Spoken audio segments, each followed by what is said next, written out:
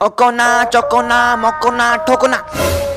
हिल जाऊँगा तो पहला जाऊँगा। ओकोना मकोना चौकोना ठोकोना। अरे जल्दी भागो। गारीमान मैं हूँ जियान। अरे मैं तो गिर गया तुम ऐसे भी गिरे हुए हो। ये कौन बोला? ओकोना मकोना ठोकोना।